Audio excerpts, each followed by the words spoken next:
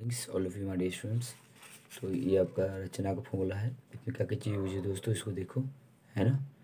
ये आपको बहुत ही इंपॉर्टेंट चीज़ है दोस्तों क्लास टेंथ का, ठीक है? सर्कल वगैरह, क्या बोलते हैं, इसको सब याद करना पड़ेगा आपको। देखो फ्रेंड्स ये आपको रेडियस के बारे में बताया गया ब्यास के बारे में, त्रिज्या संगत समदिवाजी स्पर्श, परिच्छेदी सकेंद्रीय है ना? वृत्त अर्धवृत्त चाप, परिधि, बीजगणित। देखो दोस्तों जो विभाजित अगर होगा तो आपको सेम इसमें न्यून न्यूनकोण लिखा करोगे एक्यूट एंगल्स और इसमें दूसरी क्वेश्चन जो सर्कल के बारे में सर्कल बनाना पड़ेगा और उसका रेडियस और आर्क और उसके बाद कोड उसी तरह से इसमें हम जो पॉइंट्स लिखेंगे, उसमें टेंजेंट पैड लिखना ज़रूरी है। समझ गए ये दो सवाल आपके पक्के हैं, ये दो सवाल में सेक्स वाल आएँगे।